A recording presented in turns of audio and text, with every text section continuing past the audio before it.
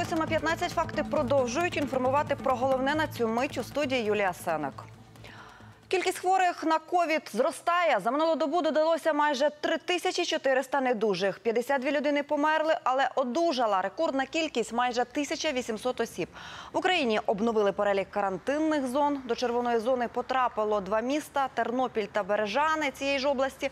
Загалом з найнебезпечнішого переліку вивели 13 районів у різних областях. Там ситуація покращилась. Навпаки, суворіші обмеження тепер у Харкові, Ужгороді, Чернівцях, Сумах, Хмельницькому та Франківську. У Києві, попри високий приріст інфікованих 330 за добу, послабили обмеження з помаранчевої місто віднесли до жовтої зони.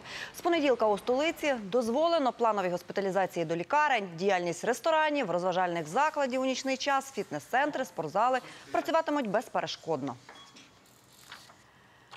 Служба безпеки України заблокувала корупційну схему з прибутком 5 мільйонів гривень на рік. Таку суму отримували керівники східної митниці ДФНС у Луганщині. Митники створювали штучні перешкоди для оформлення вантажів на імпорт, а за гроші пришвидшували розмитнення. Одного з керівників спіймали на гарячому. Зараз СБУ проводить обшуки і допитує свідків. Злочинцям загрожує до 12 років в'язниці.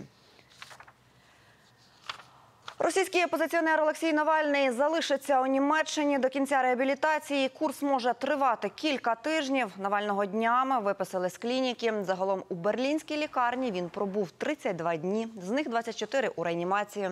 Також стало відомо, що у Росії арештували квартиру і рахунки опозиціонера. Трапилося це через тиждень після отруєння. Нагадаю, Олексію Навальному стало зле у літаку 20 серпня.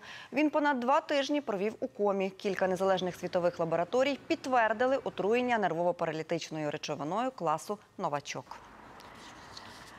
В американському сенаті пропонують запровадити санкції проти Росії через отруєння опозиціонера Олексія Навального. Група американських сенаторів від республіканців та демократів уже представила відповідний законопроект. У ньому є розпорядження визначити, чи порушив Кремль закони США, що забороняють використання хімічної та біологічної зброї.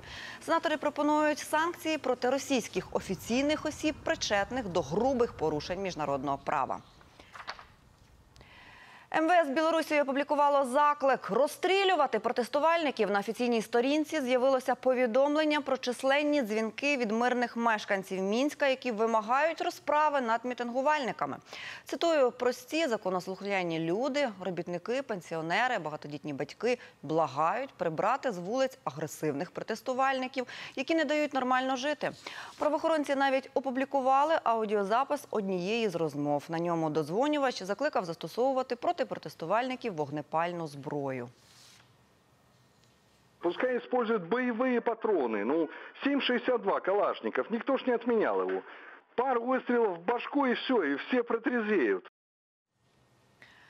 Натомість обурені протестувальники, які не визнають легітимність Лукашенка, уже оголосили про наймасштабніший марш протесту, що відбудеться уже цієї неділі. Закликають людей не бути байдужими і приєднатися до ходи. Віз з москвича змайстрував собі житель Черкащини Микола Юрченко. Свій транспорт в одну кінську силу назвав конемобілем. Ним їде до райцентру, магазину і за пенсією. Дорогою підбирає попутників, односельчан. Задум був зробити підводу, щоб у негоду було їхати не мокро і не холодно. Та зрештою довелося таки пожертвувати старим москвичем. З нього прибрав двигун, обрізав усе зайве, аби старенькому каштану було неважко.